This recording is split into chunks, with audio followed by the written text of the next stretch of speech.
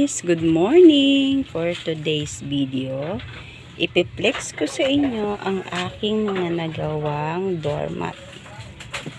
Ayan. Ipiplex ko muna ang aking mga beautiful doormat. Ginawa ko siya ngayong week na ito. Ayan.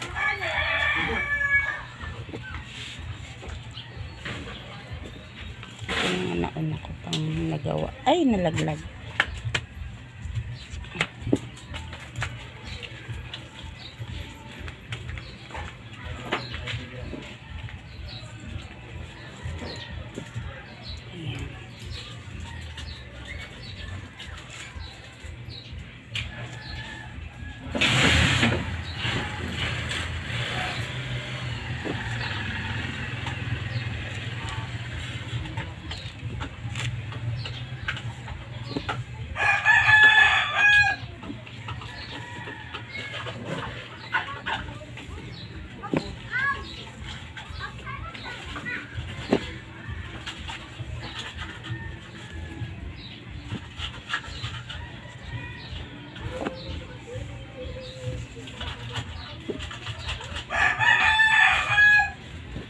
Yan ang aking mga obra.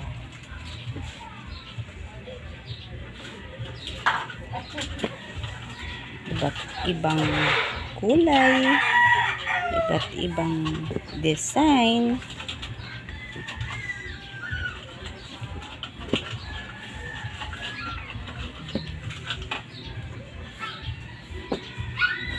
Diba? So pretty.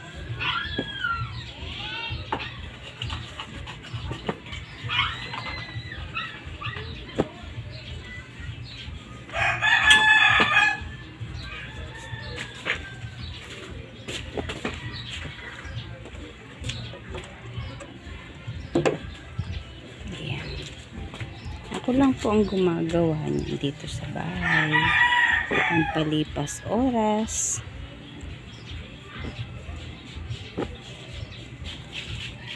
ng aking mga pot holder.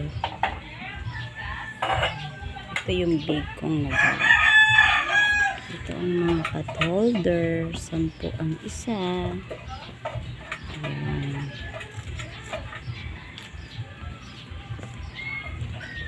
May bigas po. Meron po. Ay,